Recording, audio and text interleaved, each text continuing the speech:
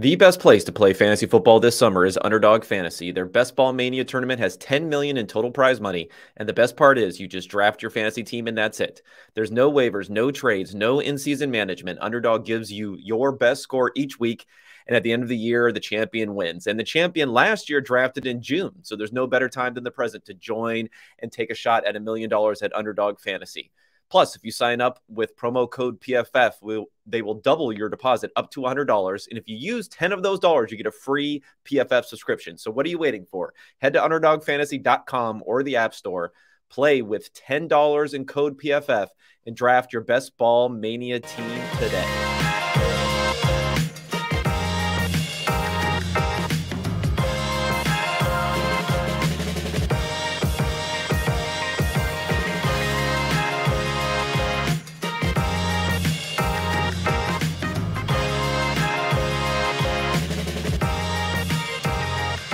Alrighty, everyone.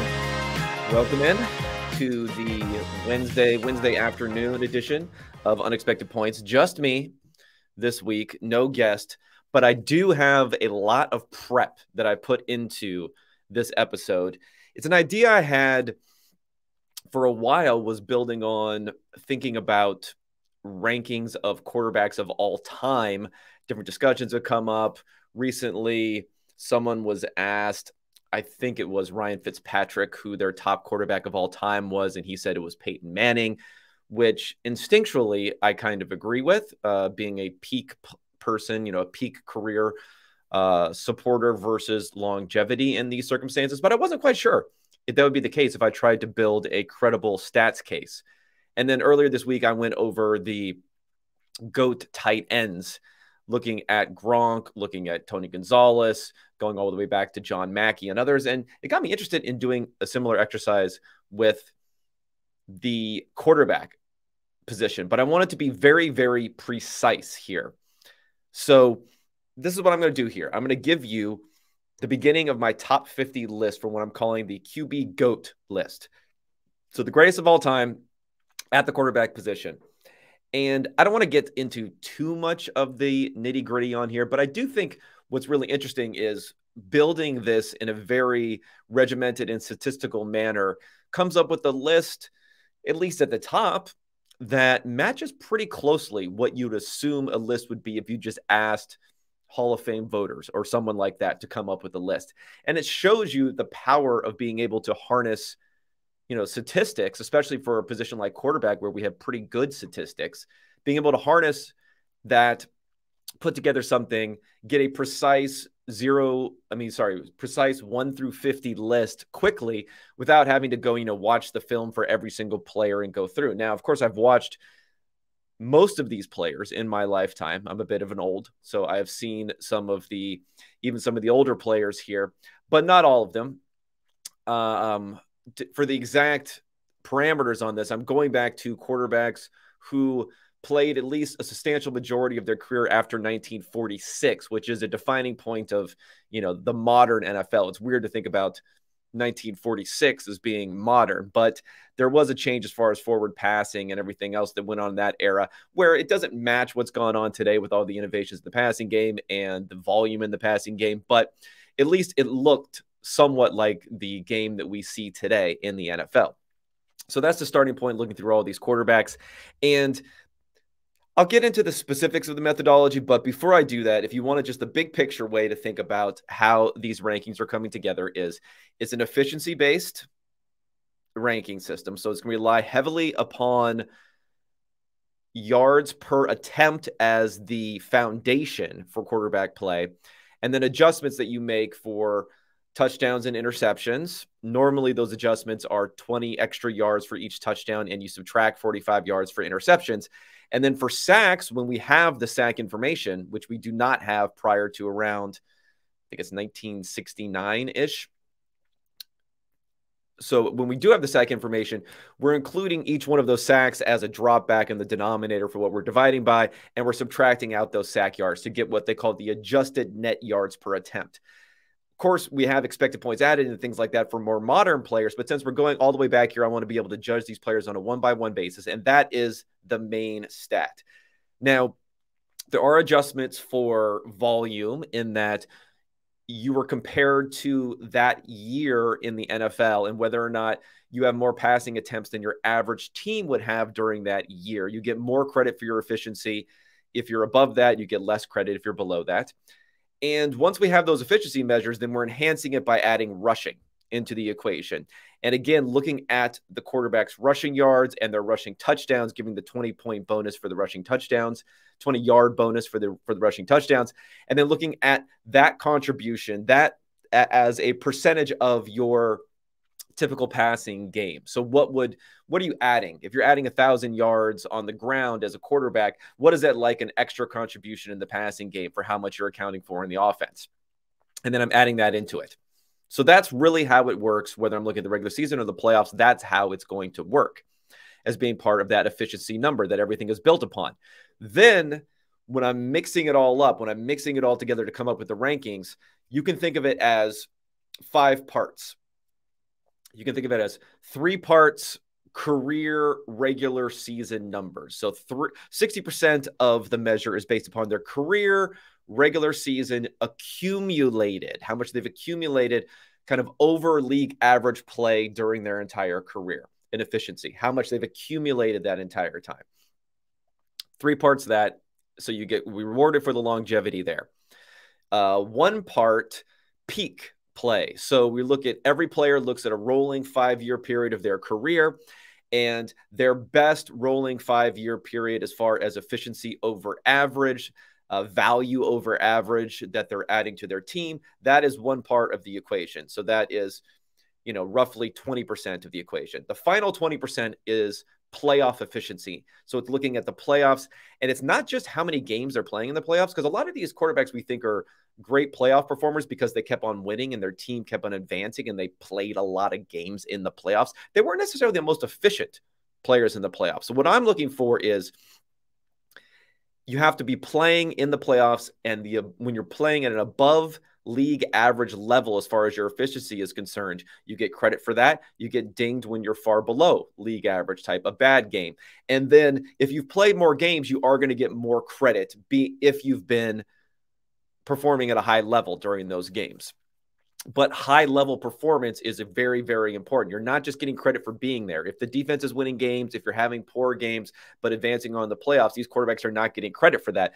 But other other quarterbacks who just go absolutely bonkers in the playoffs one guy i can think of is terry bradshaw. His numbers are just bonkers in the playoffs. He gets a lot of credit for how far above the average quarterback level play that he was playing and how much he stepped up his game in the playoffs. And that again is a 20% of the total calculation and mixing all those together, I get the rankings. I ranked approximately 115 different quarterbacks I thought could be in the ballpark for maybe being a top 50 type of quarterback of all time and then brought it all together and have the rankings for each one of these things. So as I go through this here, as I go through quarterback 50 to 41 today, the first 10 uh, for a five part series that I'm going to go through here, for each quarterback, I'm going to discuss their ranking, their actual QB GOAT ranking, so their overall ranking. I'm going to discuss their career number for efficiency, their peak, their rushing contribution, which is built into that efficiency. Just you see that broken out and you can get a good idea of how much has been driven by that.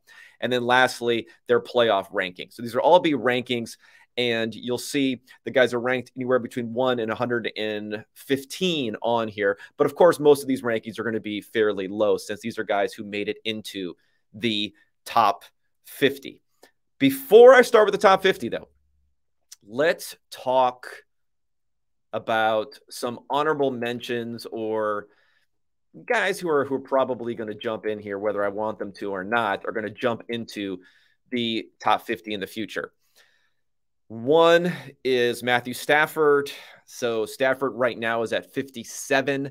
He has a, a good career number. Uh, he's in the top 50. His career number already in his 13 seasons is a top 50 type of numbers, how much value he's added throughout his regular season career. But his peak number is low. Uh, maybe a couple more years like he did last year, where he had a great he had a great uh, year last year. Maybe he'll, he'll raise that peak number up quite a bit there. His playoff ranking is okay. It's at 40. It's not great, but it's okay there. And his rushing rank is 64. So not that high of a rushing rank, which brings him down again to 57th rank. But a couple more years, he's going to pop into the top 50. Another guy is Kirk Cousins. Kirk Cousins is in that same sort of range, right around 60 right now. Um, the dude just performs. he's just efficient. I don't know what else to say about it. I think he's had six straight years now of well above average efficiency in a, in a, basis of adjusted net yards per attempt. So his peak number is in the top 50. His career number is in the top 50. And his playoffs, he hasn't been, he's only played three playoff games, so he doesn't have a lot there.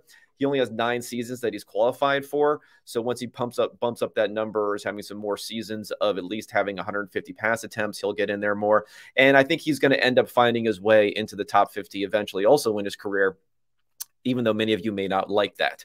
Um, a likely Hall of Famer who does not make it to the top 50 is Eli Manning. He comes in at 60. Uh, just doesn't have the efficiency. He's just in the 60s as far as his career and his peak efficiency. Uh, he is 40th in playoffs. And I know you think his number would be even better for playoffs, but the problem was in all of their one and done seasons, he stunk. So he they went into the playoffs, you know, they have 12 playoff games, right? So a few different seasons, those were going through and winning the playoffs and winning the Super Bowl in two of those years. The rest of them were one and done. And he was really, really poor in those in those games uh, which detracted from his his playoff number there. And of course, he does not rush the ball that much, so he's number 60 and is not going to be part of this. Phil Simms, 64, is someone to consider. Cam Newton, 58, is another guy where it doesn't look like he's going to get enough opportunities to bump in there, but he is third all time in his rushing value added, which boosts up his numbers a little bit there. Carson Palmer, 66. Um, Dave Krieg, 68 is another interesting name there and Michael Vick at 65. Michael Vick actually added the most rushing efficiency of anyone because of the fact that in his day, the numbers that he was putting up versus normal passing offenses was just was just obviously incredible there. But didn't really have the playoff success, didn't really have the efficiency throwing it to actually qualify there. So those are names that you might be thinking of when I'm going through this list and say, hey, where are these guys? And unfortunately, the reality is they just did not make it.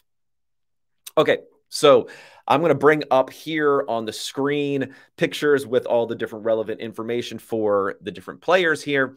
Because some of these guys you're not going to have heard a lot of because they're a little bit on the older side. So let's go first to uh, number 50 on the the goat list, and that is Billy Kilmer. Billy Kilmer is probably someone you haven't heard a lot about here. I'll bring him up on the on the list. You can see here that he played for the Redskins uh, at the time for the majority of his career. It wasn't a lot, um, but that was really in the latter half of his career where he ended up getting some MVP votes once in his 32 and 33 year old seasons. Before that, he played for the Saints and he played for the San Francisco 49ers. He was drafted in the first round. Uh, only one Pro Bowl for him. So he doesn't have much of a lauded career as far as um, as far as accolades are concerned. But if you when you dig into some of the numbers and you look at what he's done, he had some really excellent efficiency seasons. I mean, for most of the time that he was with Washington, he was well above average as efficiency, which gave him some pretty good numbers to work off of here. We see that his career efficiency, he was 54th, he was 50th in peak. Uh, his rushing was 88th, and his playoffs was 44. And in one year, if you look at what happened with uh, Kilmer in the playoffs, they did go all the way and lose in the Super Bowl in 1972. 1972, the same year where he ended up getting some MVP votes and finally getting voted into the Pro Bowl. So a little bit of an accumulator here as someone who played 12 different seasons with three different teams, but he just had this consistently good play, but was not really seen as being a great quarterback in his time and in his day. So I think this is one where he's going to be ranked a bit higher by my numbers and with a concentration on efficiency than you're necessarily going to see him ranked with with others.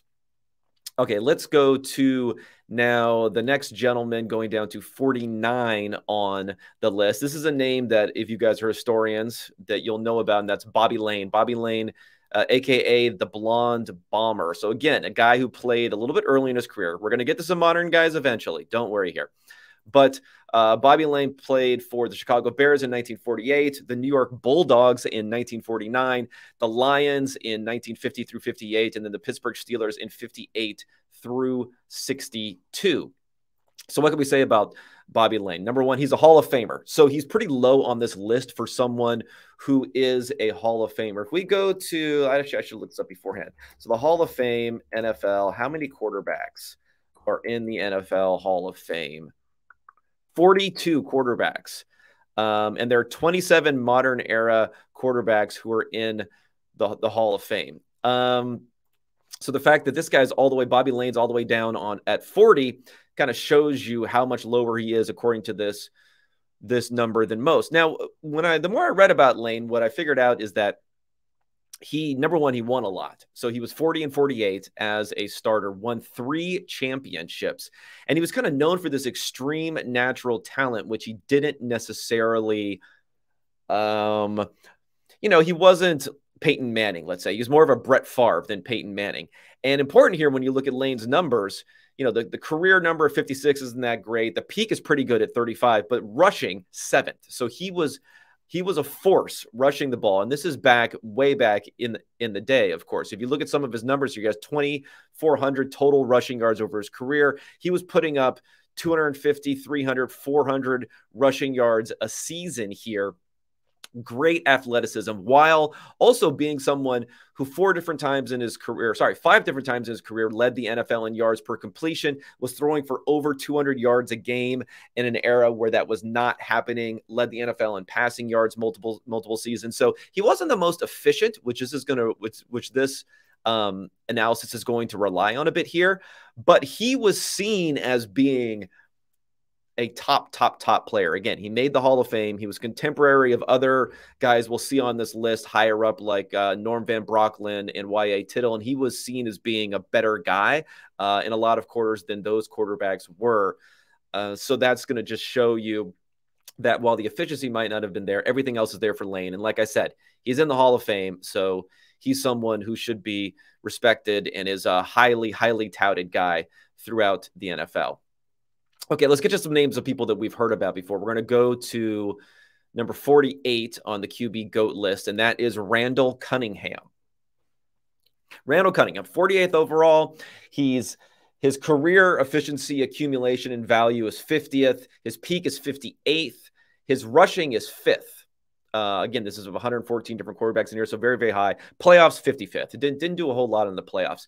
So I think Cunningham is too low on this list, although, you know, he's, I don't believe he's ever even been a finalist for the Hall of Fame before. I don't think Cunningham has ever been a finalist before. And the difference here is he, was stats have been held down by poor surrounding teammates, injuries, and really sacks.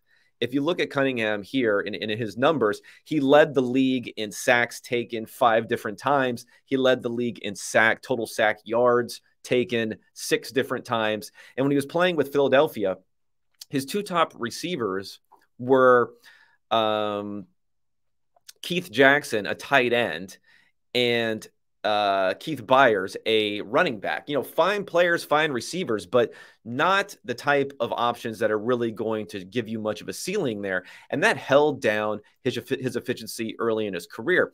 If you look at Cunningham, he's one of these players who broke out really in his third year after having pretty awful efficiency in his first two seasons, especially as far as sacks is concerned. He was just taking tons and tons of sacks those first couple of seasons. And then his efficiency started to blossom in the middle years when he was playing for Philadelphia.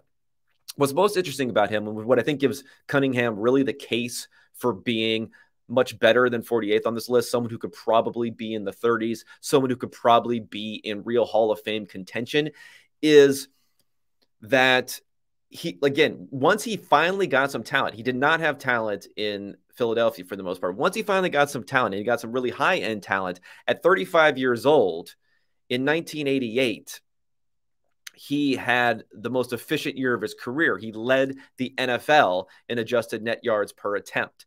Best player in the nfl that year he was a uh, ap first team all pro he was second in the mvp voting behind Terrell Owens. So he has the number one uh, voting as far as a quarterback is concerned. And, you know, he, he showed this talent before. Mean, he was twice before that behind Joe Montana and Boomer Esiason for MVPs early in his career and had another year where he was a second team all pro that he, that he, that you can also add to this mix. So he really had four high, high end seasons, but especially once he got hooked up with Cris Carter and Randy Moss in Minnesota, 1998. He showed what an amazing ceiling that he had as a player. Never really had that opportunity before. And that's what's holding him down a little bit in these career and peak numbers that he just didn't accumulate enough of those high end seasons to really be considered that high. But he's definitely someone that should get a lot more consideration when it comes to the Hall of Fame. Okay, next we're going to go to 47 here on the the GOAT list, and it is Daunte Culpepper.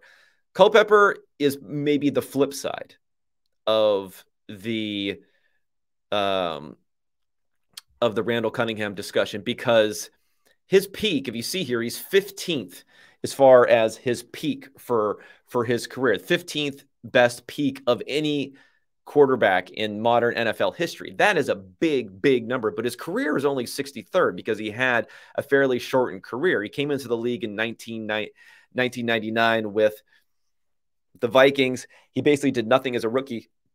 Then he came in with playing with those same players that we talked about Randall Cunningham getting at the end of his career, getting to play with Chris Carson, Cris Carter, excuse me, and uh, Randy Moss. And immediately stepping in and having huge, huge seasons. I mean, his second NFL season, he led the league in touchdown percentage. He was in the top three in his adjusted net yards per attempt. He maintained being basically average the next two seasons. And then the two seasons after that had another two huge, huge numbers, especially in 2004. Uh, went, went on there. He went to the Pro Bowl, Pro Bowl three times, but he never made an All Pro team. He never got any MVP votes. He wasn't seen as being on that sort of level. So I think he's more the guy where his numbers are reflecting the great rushing production that he had. You know, he was putting up anywhere from 600 to 400 yards per game for a five, six year stretch. Uh, and just an amazing peak that he had there. Amazing physical talent, being able to throw the ball down the field. But it might have been more a function of the surroundings that he had there than someone who could perform that well anywhere he went. You know, he had some injuries and then he kind of fell off after that. And he had some cleanup years in Oakland and in Detroit to end his career where he didn't really do anything. So he's just not going to have the big time accumulation of numbers over his career. And that's just not going to get him there. And as far as the playoffs are concerned, despite having these fantastic numbers during the regular season, he only played in four playoff games and his his efficiency in those games was a little bit below what he averaged for his career. So nothing that fantastic as, as far as uh, what it goes what it goes for. Um, it's just more of the peak peak seasons that he had surrounded by talent we have to discount a little bit because we never saw that happening anywhere else okay another player this is going to be a big surprise for people at 46 here trent green Trent Green, yes, you can see him on Sundays if you uh, tune into, I don't know, is he on CBS or Fox? I'm pretty sure he's on CBS. Trent Green, number 46 here. His career is 51, so he doesn't have that high of a career number, but his peak is 25. He's another guy with a top, top, top peak here. Uh, his rushing is 72 and his playoffs are 79, so not there much for rushing and for playoffs. Okay, so you're going to say, Trent Green, this sounds ridiculous because Trent Green, he only played in two Pro Bowls despite the fact that he was a starting quarterback for, I don't know, 10 different seasons. So he didn't have a lot. He didn't have a lot of seasons that he played. So he looks kind of bad there uh, in some part. But the thing is, when he finally got a chance to play, and he was an eighth round pick, number 222 overall, uh, back in the day when the NFL draft had many more rounds, he did not really get a chance to do anything for most of his career. It wasn't until the year 2000, he was already 30, 31 years old. He came in for um, for Kurt Warner when Kurt Warner got injured, stepped in, started five games, led the NFL in adjusted yards per attempt at nine adjusted yards per attempt, uh, 260 yards per game, a QB rating of over 102, the passer rating over 102 and he had a 7% touchdown rate, just an enormous touchdown rate. So he stepped in and immediately immediately looked like a superstar stepping into the same offense that made Kurt Warner, you know, an MVP multiple times and made him eventually get into the Hall of Fame. Now, what did he do with Kansas City these next few years? Um, again, he had great surroundings in Kansas City. So maybe I should just say that first off. And that's probably why he didn't get a lot of credit. He had two Hall of Fame offensive linemen in Willie Roaf and Will Shields. He had the greatest tight end potentially of all time in Tony Gonzalez. I put him second, but anyway, uh, he had standout running backs, Priest Holmes, Brian Waters. You know, there was a sense that he just was not the one who was necessarily leading the team there. But if you look at a four year period here from 2002 to 2005, he was second in passing yards to Peyton Manning, above Tom Brady, above Brett Favre. And if you look at his net yards per attempt, again, second to Peyton Manning, well at, at 7.2 net yards per attempt, well above Tom Brady, well above Brett Favre at 6.4 and 6.4 each. So for a four-year period, and maybe even a little bit more into a fifth, fifth five-year period, he was, you know, a clear second efficiency wise to Peyton Manning over these other quarterbacks like Tom Brady and Brett Favre. I don't think that's something you can really just discount and throw out there. Um, and you combine that with the fact that when he had this first half season that he came in for Kurt Warner, he looked incredible. He basically was playing at an MVP level at that at, at that point in time there.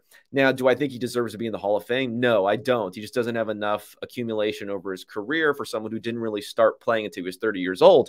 But he's also someone who shouldn't be slept on and is much better than his two Pro Bowl berths, in my opinion, and should have been given more credit. It just seemed like every year was like, oh, yeah, that's just a, an anomaly that this eighth round pick ended up playing so well and let's just discount that and, and, not pay attention to it. And then he was just doing it year after year after year, but then he eventually just got too old and too injured to be able to continue on. Um, but the next time you see him on a broadcast on Sunday, remember to yourself, hey, this Trent Green guy is actually a pretty damn good, pretty damn good player. All right, next on the list is Steve McNair. Steve McNair, 45th uh, on the GOAT rankings here. His career efficiency was 46, so right in line there. His peak was 31. He was the 10th best as far as his rushing is concerned, but he was 114th out of 115th in playoffs. He really did not perform well during the playoffs. I mean, pretty interesting career, though, if you think about for accolades perspective from McNair. McNair was in the Pro Bowl three times. He was a co MVP with Peyton Manning in 2003.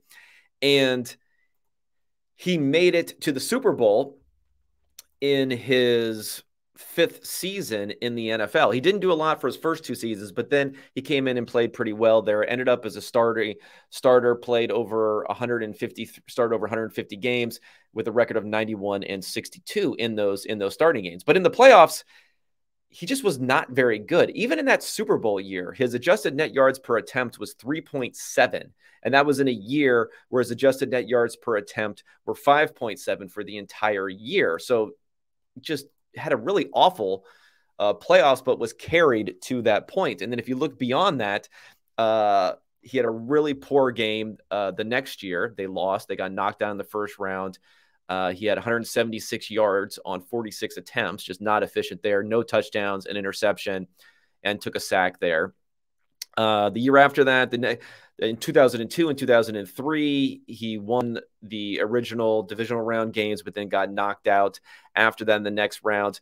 Both of those subpar play. And then in his last game, where they make the playoffs in Baltimore when he was 33, um, another awful game there. We threw for 130, 173 yards, uh, two ints, no no touchdowns. So that keeps him down.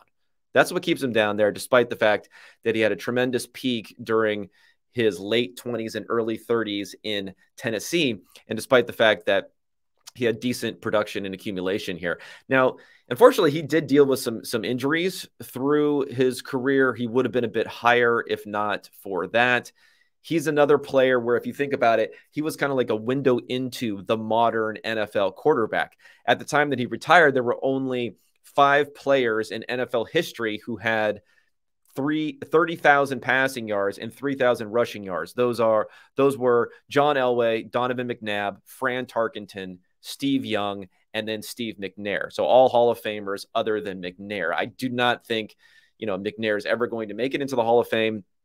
And unfortunately, we just don't know how how long and productive his career could have been if he wasn't dealing with injuries. And then he ended up retiring at 34 years old after falling off a cliff performance wise and with injuries his last season. And of course, you know, his tragic death, which came uh, a number of years ago, kind of adds to some of the sorrow here for what could have been for McNair because let's remember this guy who came out of Alcorn State.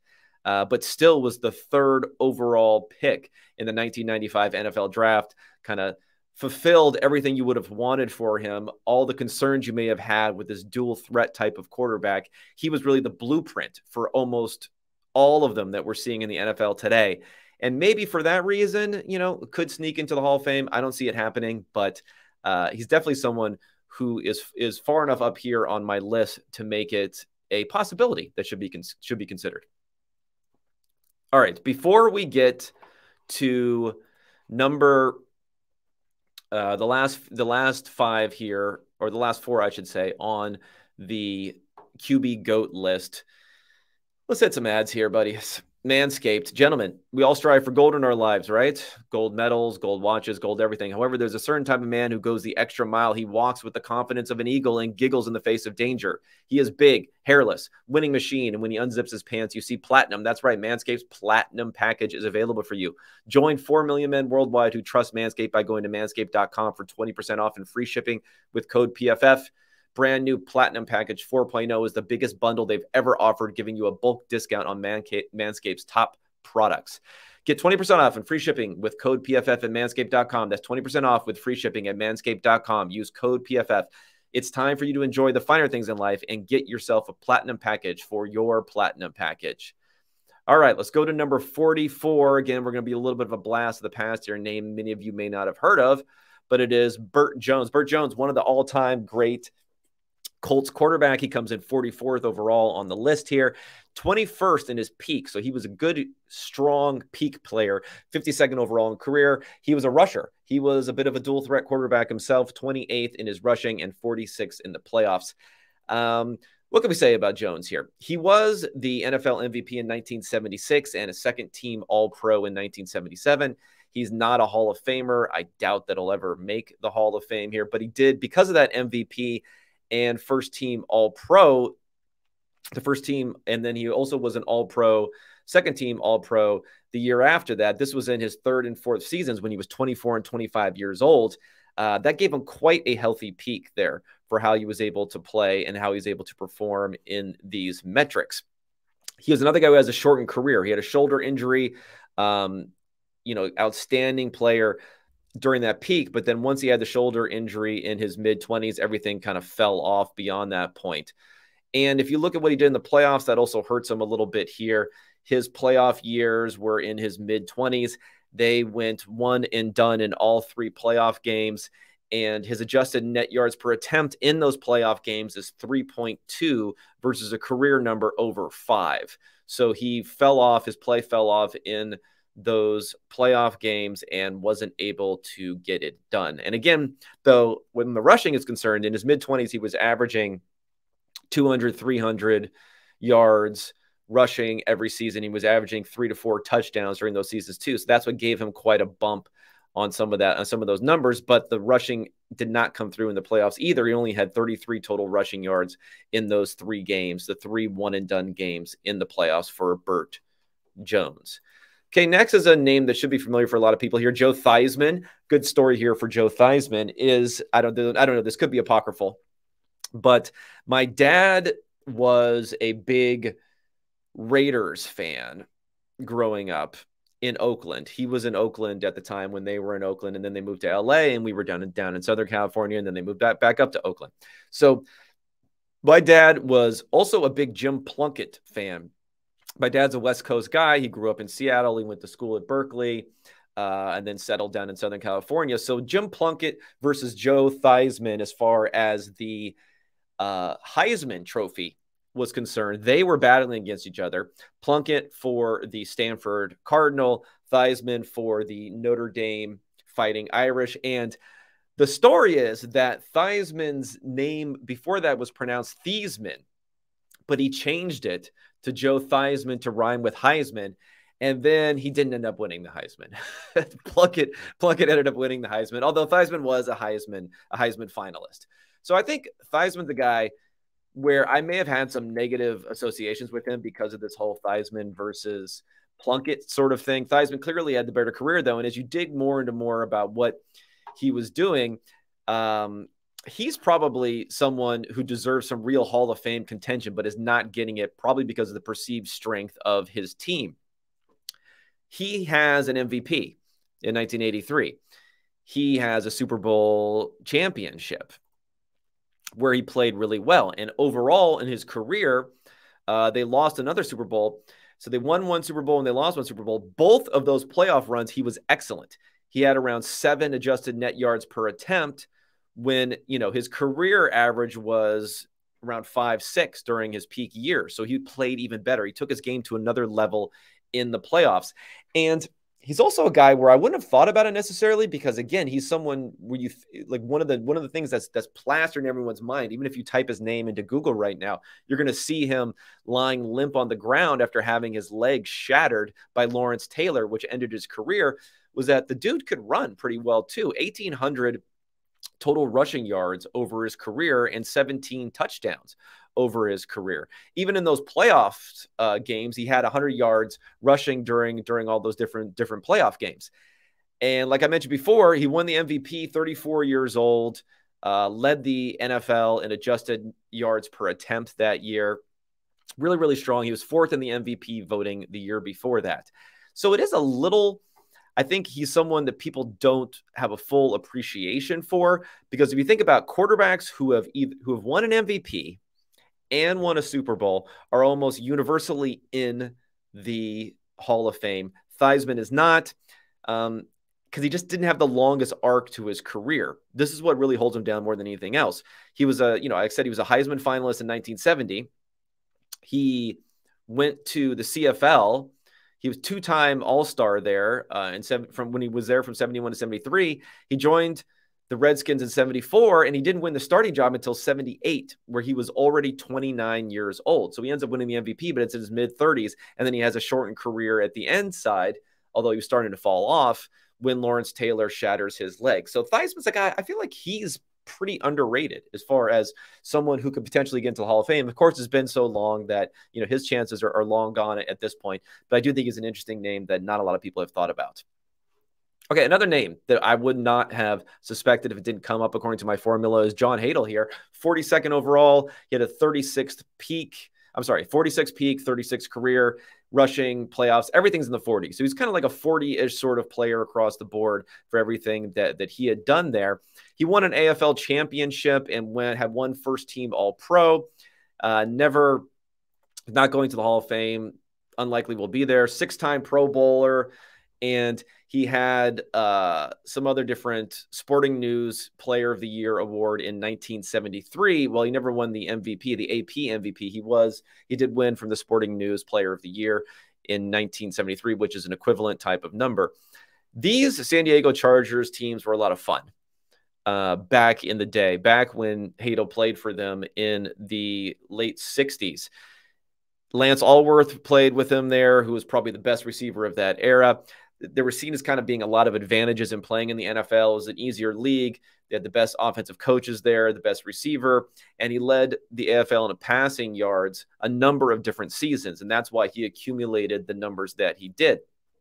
Um, again, he's not a player that I just I know a lot about as not being a real studier of the AFL back in the 1960s and early 70s, but he has the goods as far as the numbers are concerned. And again, the steady play is concerned there, just depending upon how much you want to discount it based upon the AFL and the inflated stats that you saw from that era. Okay, let's get to the last guy, number uh, 41. Uh, whoops, it says 43 on here. Apologies for, the, for anyone who's looking at this on YouTube, but it should be 41. Bob Griese, his career efficiency total accumulation is 24th big number there. Peak 65 is a little bit lower. His rushing is 50th and his playoffs is 10th. He has amazing, amazing, amazing playoff numbers. So I think Griese, for people who are thinking about someone a little bit more modern, like who's the equivalent you can think of when it comes to Bob Griese. And again, Griese's a Hall of Famer, unlike a lot of the guys we've seen here. Eight times in the Pro Bowl, two times he was All Pro, two time uh, Super Bowl champion, and went to the Super Bowl another time.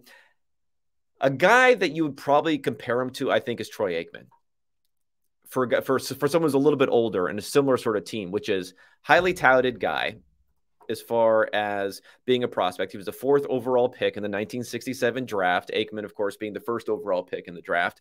Played for a team that was dominant running the ball. The the Miami Dolphins teams of the late 60s and early 70s, or through most of the 70s, dominant, dominant, dominant running the ball. Griese never averaged more than 190 yards passing per game. And in some of these seasons, some of these seasons, he was as low as 110 yards per game, 120 yards per game, 140 yards per game in some of these big seasons where they're going to the Super Bowl. Low, low, low numbers, which hurts his accumulation for being able to put together a substantial peak because even when he had great efficiency, it wasn't coming through as much. But you really can't doubt his efficiency. He had he had nine, 10, 11 straight years of above average efficiency.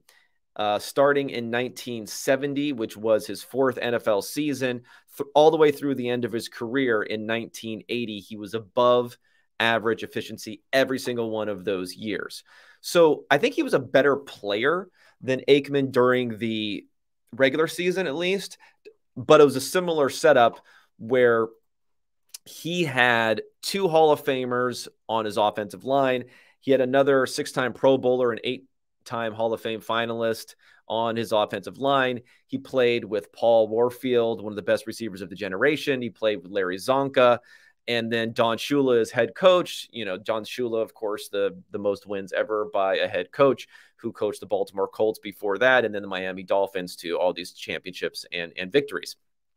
Um, so I, I, think, yeah, I think the comparison is really with Aikman, but Griese, while he was good in the playoffs, he was pretty darn good in the playoffs.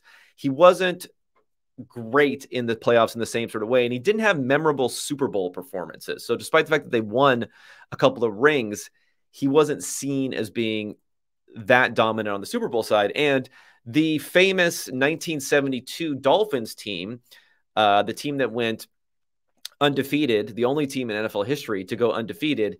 Griese started the season, was injured in the fifth game, and then came back for the playoffs. So that was also maybe a little bit of a reputation burden for him is the fact that Earl Morrall was able to step in there, uh, also not lose a game. They were able to just continue cranking out yardage on the ground while he wasn't there. And he didn't play particularly well that season, which was the greatest season in Dolphins history and NFL history as far as the only team to be undefeated. I think that hurts his reputation a little bit, a little bit for Griese. But if I were going to lean Griese versus Aikman, We'll see Aikman later on here. I mean, maybe I would lean Aikman a little bit, but I think Griese is very, very close to being that type of player. He's just probably someone we've forgotten about a decent amount. And I know a lot of people think that Aikman is like the worst quarterback to be on the Hall of Fame. I'm going to school some people on that eventually when we get to Aikman, just how unbelievably awesome he was in the playoffs.